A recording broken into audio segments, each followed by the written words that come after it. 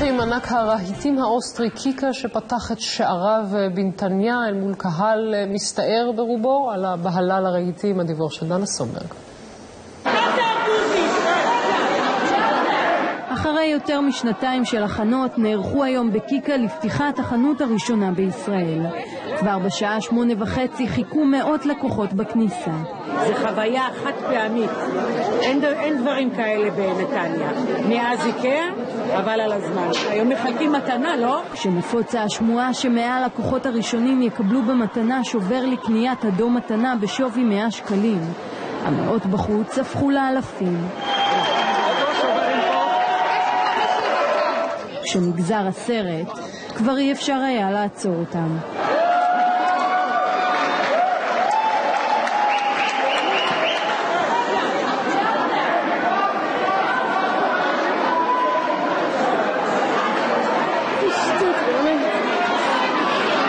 הלכנו, נערכנו עם מאבטחים, שמנו גדרות משטרה, צרכן הישראלי הגיע לפה בהמוניו וכשפותחים את הדלתות הוא עושה את המרב להיכנס ראשון לחנות, להיחשף ראשון ואני יכול גם להבין אותם. אבל למרות התמונות האלה, איש מהאלפים שנדחסו פנימה לא ויתר ופרש הביתה. בדיוק להפך. מה זה? כמעט הרגו אותי, התנפלו עליי, הפילו אותי. עד עכשיו כל הגוף, תראה, כל הגוף שלי רועד, כל הידיים שלי רועדות.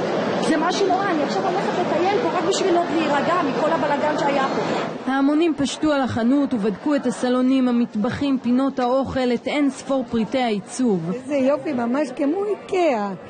ההשוואה למתחרה שמעבר לפינה הייתה בלתי נמנעת. האמת שראיתי הרבה דברים באיקאה, אני לא אשקר, אבל חיכיתי לשישי לספטמבר לעשות השוואה שאני לא אחרי זה אתחרט שלא באתי לפה. בקיקה יודעים שאם עברתם את שלושת הקומות ולא קניתם דבר, כשתגיעו לקומה האחרונה, עייפים, מותשים מכל הסיבוב הזה, כאן לא תוכלו לסרב לילדים.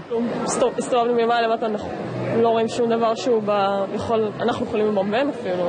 למרות התמונות המטרידות שיכלו להסתיים באסון ממש, בקיקה מרוצים. לפניהם עונת החגים היא עונת הקניות, ובינתיים באזור אין ממש תחרות. לפחות עד שאיקאה תשקם את החנות שנשרפה. מי שמתגעגע לימים שבהם כל הלהיטים וכל הכוכבים יצאו מהלהקות